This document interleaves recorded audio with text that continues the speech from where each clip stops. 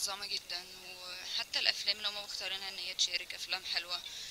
وفي في حاجات بتحصل كل يوم في ندوات في أفلام في أفلام قصيرة في حاجات كتير بتحصل كل يوم. فأعتقد إن إن هو تميز جدا السنة دي. أنا دلوقتي بحضر لفيلم هيتصور الأسبوع الجاي هنبدأ تصوير. بنحضر فيه بقالنا تقريبا شهر ونص شهرين آه، مع ظافر العابدين آه، اسمه افرود و...